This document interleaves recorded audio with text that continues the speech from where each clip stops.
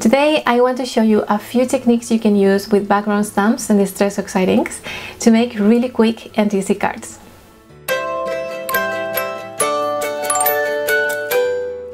Hi everyone, it's Amanda here, welcome back to my channel.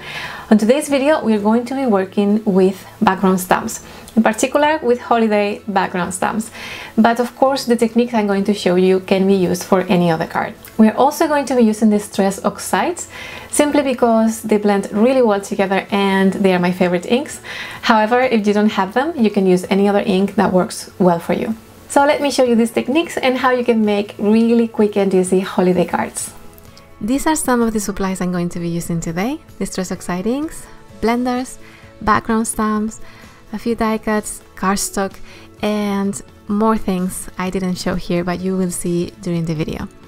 So the first thing I'm going to do is apply color to all the panels.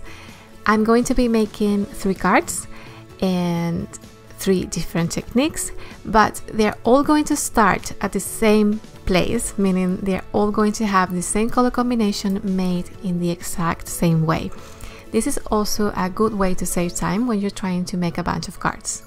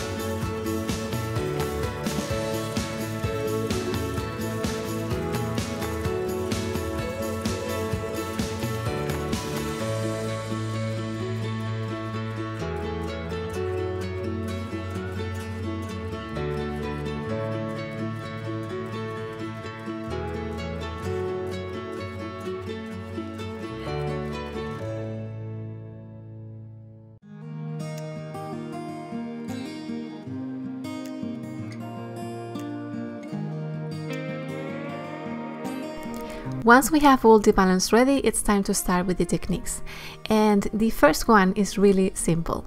You just need to use a black ink to stamp your background on the panel that you already prepared. And then use a white gel pen to color over the images of the stamp. Whatever you want to highlight. In my case I'm highlighting a few leaves but you could choose for example to highlight the flowers. One flower two flowers. This is up to you I think this technique is really, really cool. It looks like you masked all those little flowers with leaves when you're actually just coloring over it.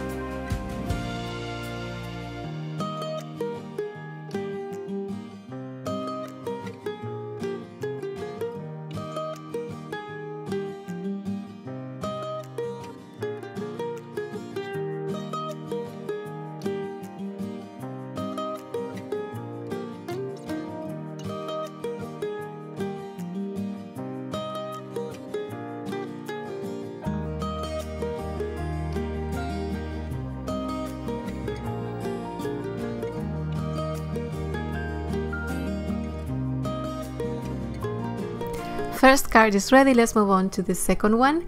And we are going to be using the same background, but this time we are going to white heat emboss it on a piece of vellum cardstock. This is a really nice option if you're looking for a softer look for your cards.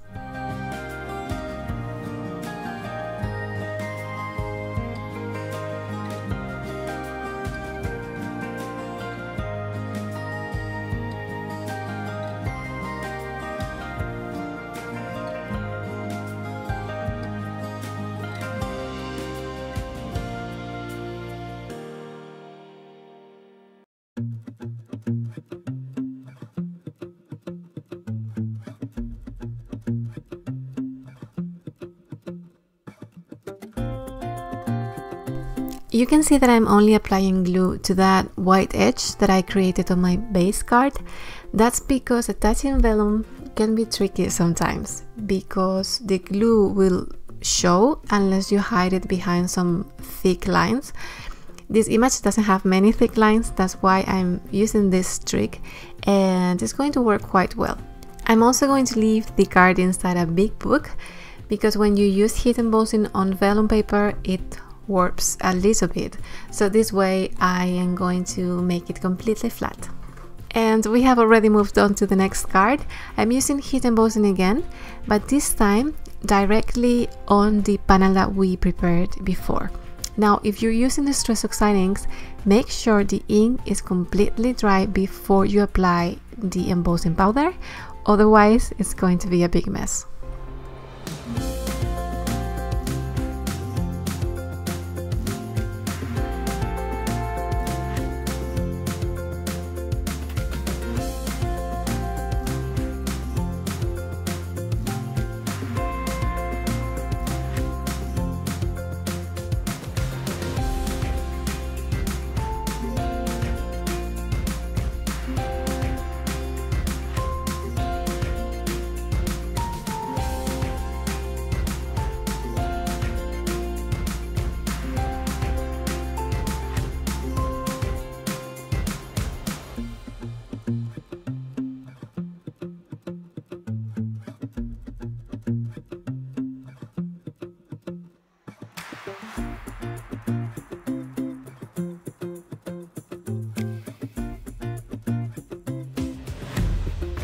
So there you have it, three cards made in a really quick and easy way.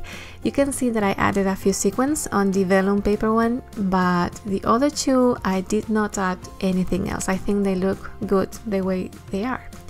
So I hope you liked it. If you want to participate in a giveaway, you can go over to my blog and leave a comment there because we are celebrating the newest Simon Says Stamp release with a blog hop. So see you guys very soon and thank you so much for watching.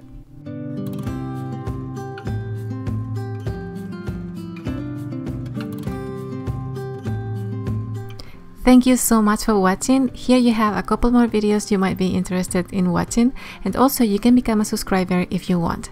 If you do so and even if you're already a subscriber, don't forget to hit the notification bell so you don't miss anything I post.